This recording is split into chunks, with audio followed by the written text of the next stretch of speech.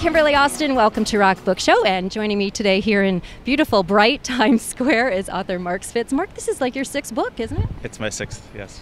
So, why did you decide to write this book?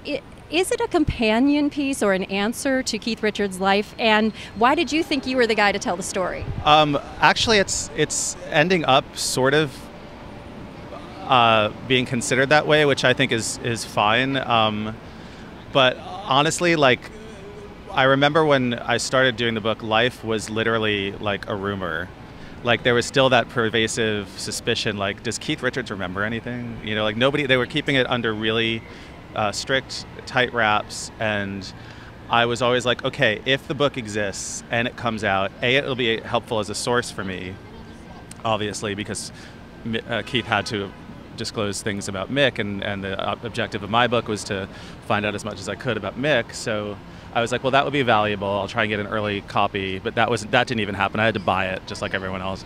Um, and it will um, sort of, I guess, yeah, tee up the sort of one side of the of the history of the greatest rock and roll band in the world, and it would leave a sort of, well, what does what does Mick say? And I don't know if you remember, like when um, when Life first came out last fall, there was a, a post in Slate and it was sort of purported to be Mick's rebuttal. And um, and it was obviously a, a, a, fake, but it was very funny and it was very smart and, and it was so. I always sort of had that like that uh, idea that this was sort of like the serious version of the satire uh, that ran in Slate. There is a sense of this might balance the scales a little bit um, but at the same time, it's it's not official Mick Jagger propaganda. so it's not like you're trying to open a can of worms, nor a can of whoop ass. I wanted to start an argument. You know, I mean, I did. I wanted. So it is a can of whoop ass. For me, it's actual whoop ass. I will kick, kick your ass. No, I mean, I just wanted, you know, like um, the, the the question that kept coming up, and it changes, and it really says a lot about where you are in your life. Is um, is uh, who would you rather be, Mick Jagger or Keith Richards? You know, and I think that was a, a very strong and very revealing question, and it was something that I sort of wanted to explore because once you answer that, then the next question is why, mm-hmm. you know. And I wanted to sort of equip people with being able to answer the why in a in a. Um, I wouldn't say the book is objective. I think the book is slanted in Mick's favor. I, I would cop to that, you know. Um, but only because of the sort of wild majority opinion that sort of has rendered him as this underdog in terms of cool currency, you know. I, I, like an underdog. I like being contrary. I think it's very rock and roll to say, well, why is this a fixed idea? I wanted to do a book that was that, that was a kind of book that would that that would start a conversation, yeah. you know. So and the, right in the title, you have rebel, rock star, rambler, rogue. What, what is it about those four, four words that you thought were the perfect descriptors? Well, I was thinking about that the other day because um, my editor, Lauren Marino at Gotham, who is brilliant, um, she said I, I wanted to call the book initially "Gimme Mick," mm-hmm. G I M M E Mick, and it's kind of after this song, this parody song that Gilda Radner sang on Saturday Night Live in the late '70s, and it's explained in the intro to the book. Um, and ultimately, Gimme Mick was maybe considered too esoteric, so we were just decided to call it Jagger. But but my editor wanted a subtitle, and she wanted it to be like Tinker Tailor Soldier Spy, and I was just like, at first I thought it was kind of cheesy, and now I think it's perfect. I really it grew on me, and so I came up with the words, and then it's like, okay, well, Rambler, Midnight Rambler, obviously, but also that he he kind of is not a fixed uh, uh, fashion icon. He's moved sort of consciously through the eras, and whether he, what, you know, he's had periods where he was a leader. He had periods where maybe you could argue he was a follower. There's photos of him in punk rock T-shirts, um, and. Uh, Rockstar, obviously. Uh, rebel, that's the thing, is like Keith is purportedly the only rebel. So I wanted to sort of show how Mick was a rebel in a true sense. And um, Rogue is, you know, just read any tabloid report with his name in bold face, and, you know, that's something that you, I couldn't look the other way at, you know. Well, what's your favorite Mick? Um, that's a hard question. I mean, I'm I, from an aesthetic point of view, I'm partial to the sort of Mick of 65. You know, all those great old David Bailey shots, and they look very mod, and he's just beautiful. And but it's like a new kind of beauty. it's an ugly beauty or an androgynous beauty, and and it just takes your breath away. Still, those photos and and the the, the fact there's there's a, a, chapter in the book about um, how they changed from being just this badass blues band, blues rock band, to writing a song like As Tears Go By, and kind of getting on board with the way that pop was going in the '60s, which was.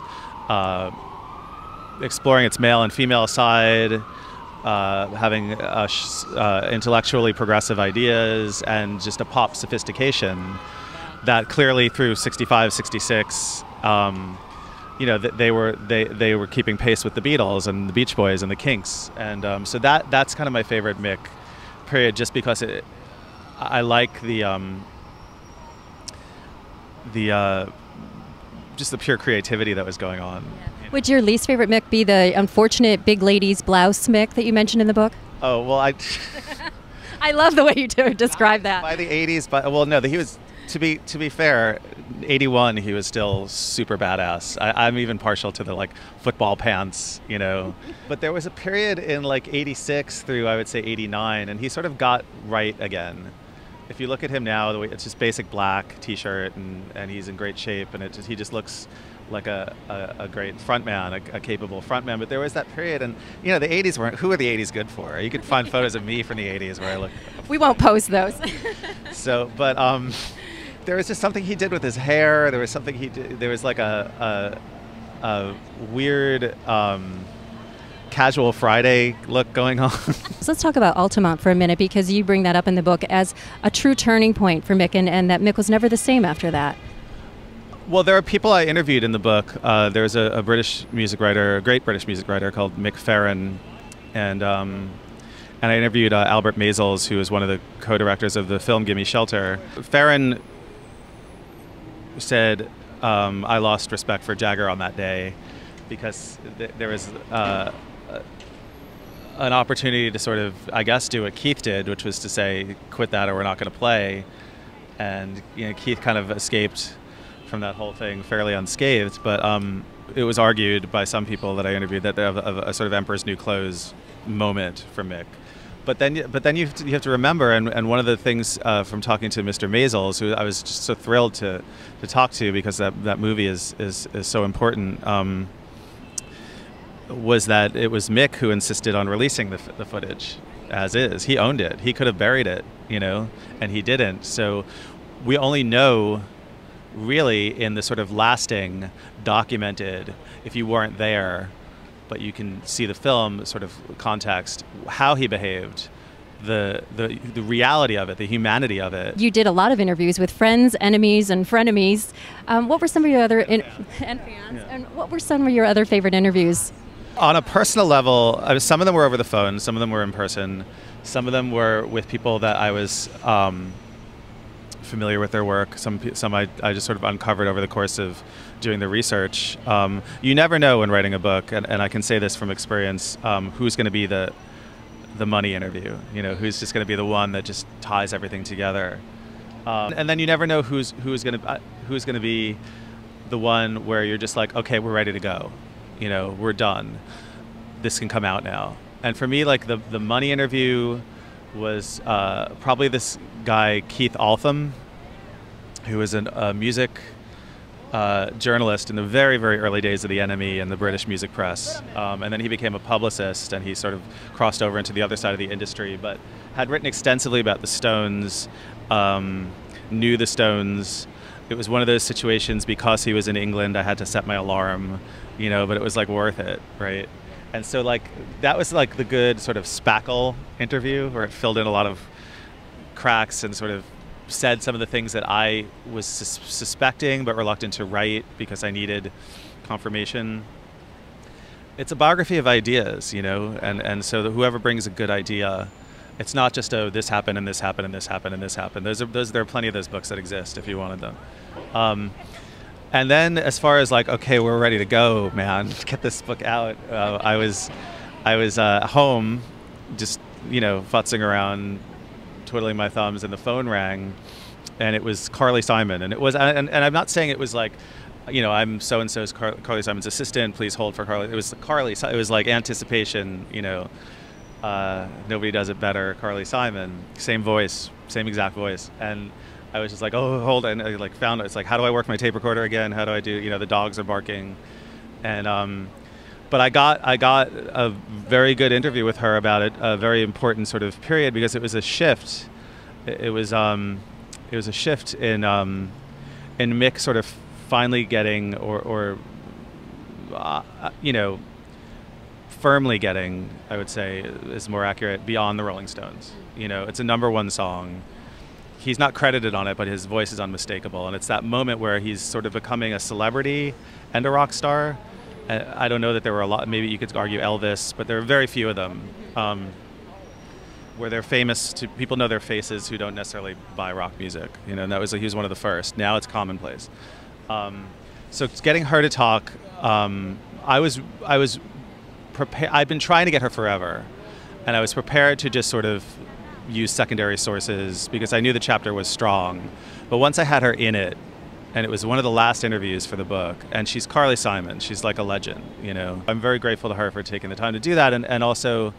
Um, because I think because of the circumstance and when it came, it, it was a, a one of the, the, noteworthy interviews, but certainly not the only only one. You know. Now, uh, Mick, of course, doesn't do a lot of interviews, and if you could get him in a room and get him to be honest and, and um, blunt with you, what's what's the one question you're dying to ask him? Well, I thought about that because I did interview him once when I was uh, uh, on staff at Spin. He was promoting a, a solo record, which I believe is his last to date solo record called Goddess in the Doorway, which Keith Richards called Dog Shit in the Doorway famously. Um, I thought it was a pretty good record. I mean, I, I don't. I was a little cynical about just just peopling it with all these other hit makers like Wyclef and stuff. Like, I don't think Mick needed to do that, but um, but I did talk to him, and it was shortly after 9/11, and we we talked about they were about to play the um, concert for New York City, Mick and Keith, and they were talking about. So they were talking to him about what songs he was going to play. Um, they ended up playing Salt of the Earth, which I suggested, but I'm not saying that that was why they played it. Could be though. Could be very, very. You know, I have I have proof that I did suggest that.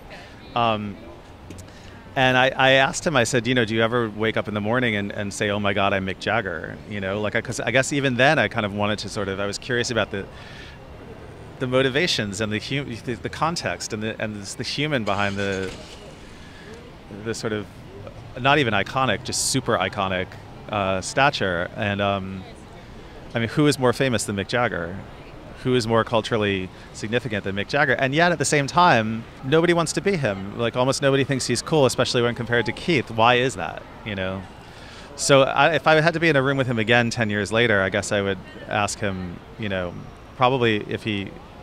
Well, I, I, I, would be curious if he if the book was on his radar. Obviously, I thought about. I am still thinking about sending one with a note. I thank him in the in the acknowledgments for for the inspiration and the music. I blog on my own website, which is um, spitzbooks.com, and I I blog extensively about the weird relationship between the subject and the and the author when you're writing a, a profile of someone, even if it's a small magazine piece. So I can see dist- there's a distinct possibility that I would leave the room and not ask him anything.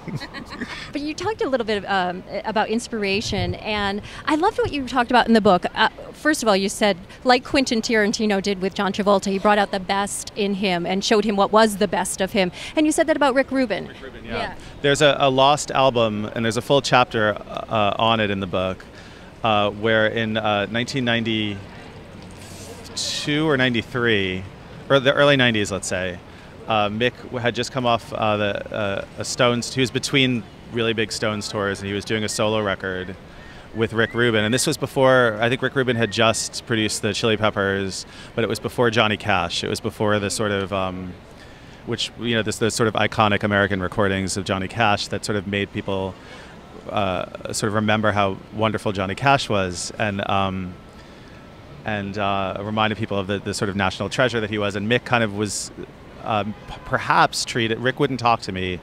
Uh, uh, perhaps treated similarly in that he cut a full blues record with Mick and this band called the Red Devils, who were a, a, a Hollywood bar band at the time. And I interviewed uh, this guy Paul Size, who was their guitar player, about the whole experience. And so there is out there, and it's it's a widely bootlegged CD. It's not like it's super obscure. You can get it, but there's a full and it's great um, blues album of Mick after his last solo record, which was called um, Primitive Cool, and it was sort of it's very. Uh, the critics didn't like it. There's some good songs on it, but um, it was very slick, you know. So to, just to get back to that sort of raw, blowing his harmonica, and just singing his favorite old blues songs. Uh, I think if it came out in the early '90s, it might have changed the way that we uh, think about him. It's worth seeking out. The Paul Size actually said that the one of the reasons it it wasn't released and and uh, was that it didn't capture the sort of live feeling enough because uh, he did he did jam with them at this club in LA called the King King, and um, and I guess well who knows I mean that one of the songs appears on on his, a, a, compilation of his of his uh, best of best of compilation. Um, but yeah, I wonder I wonder if it's something that's going to get like an official release someday. Or it's it's definitely uh, ahead of its time. But that said, the album that that he, Mick did release, the Rick Rubin record called Wandering Spirit, is is amazing. I, I think it's widely considered the best Rolling Stones solo project. See, Right now, especially, how could you not say Mick Jagger is relevant when um, Maroon 5 has a number one song, Moves Like Jagger? Like there was just a number one song in England, Swagger Jagger, yes. last month. And I want to give the last question actually is from you, from the book. Who the hell is Mick Jagger and where does he go from here? Okay, well, I'll, I'll answer that question in, in, in two parts. One, um, like you said about life, I had no idea that any of that was, you know, going to be part of the zeitgeist by the time this book came out. There were indicators in terms of like uh, Ghostface Killah and some uh, and Kanye West um, sort of uh, uh discovered that you could rhyme Jagger with swagger and uh, sort of pioneered that that rhymes uh, pairing. The fact that it would become such an institution, and that when I saw the Maroon Five thing, I was just like, no way, you know. Um, but but then it, it sort of does make sense to me because he he is more in the pop consciousness than he's been credited for. So this is just a, a high moment. You know, everything ebbs and flows. Over 50 years, you're going to be in and out of fashion dozens of times, and this is just it's it's uh, fortuitous for me that it's a, the book is coming out at a moment where people are like, even Cher Lloyd is like Swagger Jagger, who didn't even win X Factor. Yeah, she was robbed. And as far as uh, wh- where who's going to go next, I, I, I finished the book before that SuperHeavy project was even announced. So I sort of wanted to, I suspected that it would be a curveball, whatever it was. You know, everyone was expecting the Stones to sort of do another big tour. I think they probably still will next year when it's the 50th anniversary. Um, I can't see if, if, if everyone is healthy and you know can still play. I can't I can't imagine. But that's the thing. It's like, uh, where do they go next? It's they're they're in a way they're pioneers again because there's no rule book for how a 70 late 60s 70 year old rock band operates. So it's almost like they're showing us the way again. Uh, McCartney too, and and Dylan and Neil Young and those people um, who were still able to put on a good show. Uh, you know, I, am I would see the Stones again. Would you? I mean, I would. I would. You know, the last chapter of the book is called. I believe it's called "On Stage with a Cane," which is a, after a quote in the early '70s that that Mick was asked by Dick Cavett uh, if he saw himself, you know, doing this when he was when he was old, and he said, "What do you mean going on stage with a cane?" And I think, why not? You know, the voice is still there. And not bad for a guy who only wanted to do this for a couple of years. The book is Jagger, Rebel, Rockstar, Rambler, Rogue. This is Marc Spitz, all the way from the West Village. Thank you, Marc. Representing the West Village.